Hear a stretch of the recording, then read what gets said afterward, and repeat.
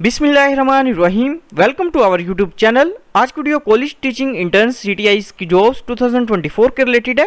Government of Punjab की जानिब से college teaching intern C CTI की जॉब्स जो है वो अनाउंस कर दी गई हैं।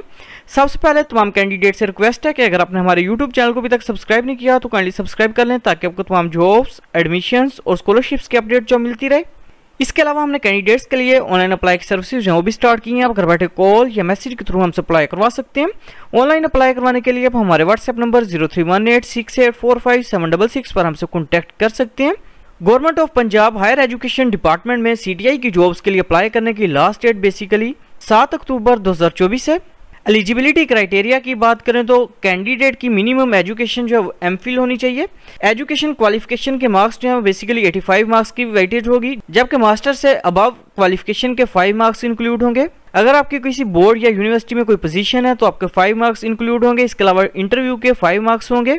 स्टाइपेंड की बात करें तो पर मंथ जो है आपको fifty thousand rupees per month pay किया जाएगा। एज लिमिट की बात करें तो कोई एज लिमिट नहीं है इसमें। पीरियड ऑफ़ प्लेसमेंट की बात करें तो basically five month contract basis के ऊपर ये जॉब होगी। सिलेक्शन प्रोसीजर की बात करें तो अपने जॉब के लिए सबसे पहले ऑनलाइन अप्लाई करेंगे। इसके बाद टेंटेटिव मेरिट लिस्ट जो है वो 12 अक्टूबर 2024 को अपलोड की जाएगी। इसके बाद फाइनल मेरिट लिस्ट जो है वो सतारह अक्टूबर 2024 को अपलोड की जाएगी। इसके बाद इंटरव्यूज़ जो है वो कंडक्ट किए जाएँगे, जो कि बेसिकली 18 अक्टूबर से लेकर 22 अक्टूबर तक कंडक्ट किए जाएँगे। सक्सेसफुल कैंडिडेट्स की लिस्ट जो है नोटिस बोर्ड के ऊपर 24 अक्टूबर 2024 को अपलोड की जाएगी। जॉब्स के लिए अप्लाई करने के लिए अपने सबसे पहले C T I dash H E P dot Punjab dot G O V dot P K जो है इस वेबसाइट को ओपन करेंगे। वेबसाइट ओपन करने के बाद इधर आपके सामने ऑप्शन शो है लॉगिन रजिस्टर का। इस ऑप्शन के ऊपर आपने क्लिक करना है। क्लिक करने के बाद इधर आपके सामने ऑप्शन शो है रजिस्टर हेयर का। रजिस्टर हेयर के ऑप्शन के ऊपर आपने क्लिक करना है। क्लिक करने के बाद सबसे पहले अपने पोर्टल पे अपना अकाउंट जो है वो क्रिएट करना है। अकाउंट क्रिएट करने के लिए सबसे पहले अपने फुल नेम जो अपना वो टाइप करना है। इसके बाद C N S C number enter करेंगे। इसके बाद कॉन्टैक्ट नंबर जो है अपने वो इंटर करना है। इसके बाद ईमेल एड्रेस इंटर करेंगे। इसके बाद पासवर्ड इंटर करना है। पासवर्ड का अपने कंफर्म करना है और रजिस्टर नाउ के ऑप्शन के ऊपर आपने क्लिक करना है। अकाउंट जो क्रिएट करने के बाद अपने अकाउंट को लॉगिन करेंगे। अकाउंट लॉगिन करने के बाद पर्सनल डिटेल जो अपने वो इंटर करनी है। इसके बाद प्रोफ़ाइल पिक्चर अपलोड करेंगे। सी की फ्रंट साइड और बैक साइड की पिक्चर अपलोड करनी है।